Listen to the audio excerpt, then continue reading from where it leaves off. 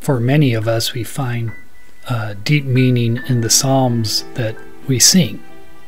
I find myself singing psalms often.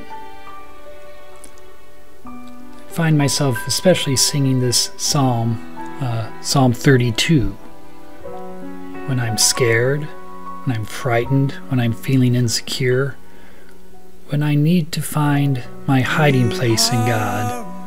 This is a song that's playing in the background that I often like to sing and I find great comfort in.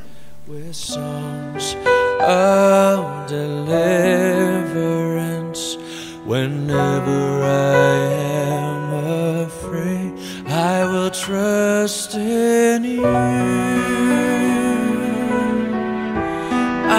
Trust in you. Let the weak say I am strong in the strength of the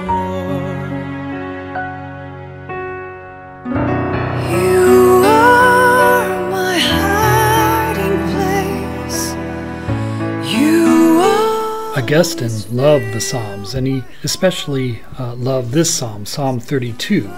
In fact, he had it inscribed above his bed so that every morning he would see it when he woke up. He came to appreciate verse 7 that you are my hiding place. There was great strife in the world, and he had to find refuge in God, not unlike what we face now. I hope you read through all of Psalm 32 and discover just why this was St. Augustine's favorite psalm.